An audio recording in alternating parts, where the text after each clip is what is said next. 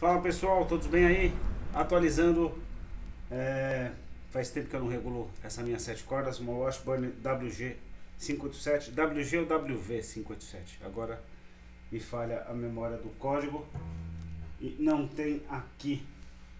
Mas essa madrugada tive uma insônia braba, era 5 horas da manhã, resolvi mexer nessa guitarra e mudei o ângulo do braço e dessa forma consegui subir um pouco a Floyd Rose com relação ao corpo.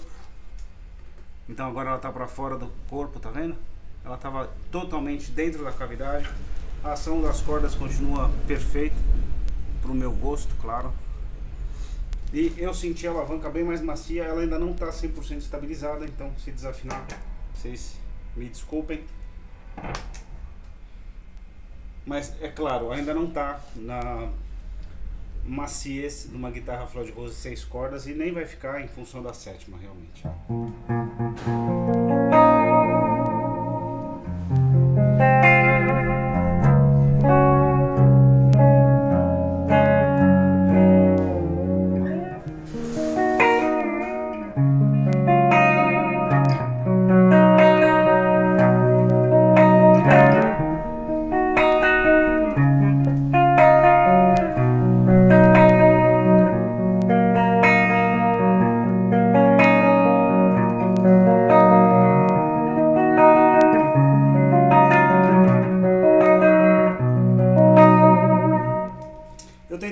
Altura dos captadores, mas tem um sistema que eu considero bem é, infeliz, que os parafusos que regulam a altura dos captadores, eles têm uma porca na parte inferior do captador, e essas porcas estão bem travadas, eu tenho a impressão de que o dia que eu for mexer nisso vai estragar. Então basicamente não consegui mudar nada, foi milimétrica a alteração, sinto alguma diferença no som, mas é bem sutil.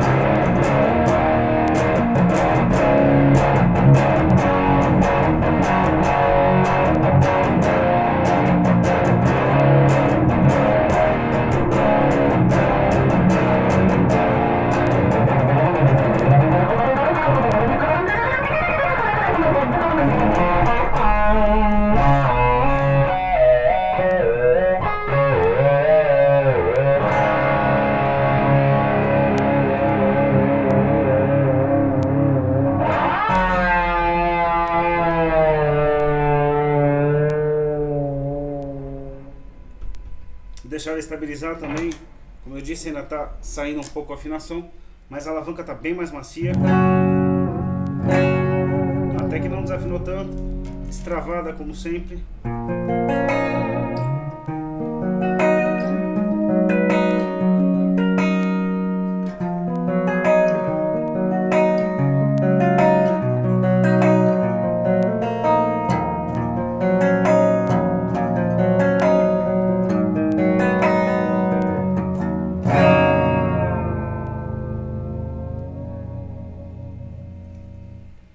Vamos ver se eu volto com algum boletim nos próximos dias dela.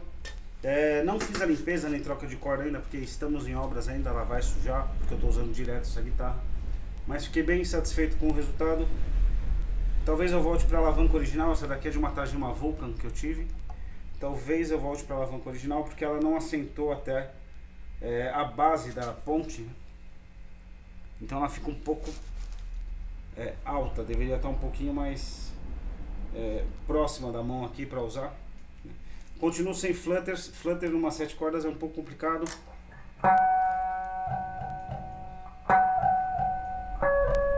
Tem bem pouquinho, antes não tinha nada.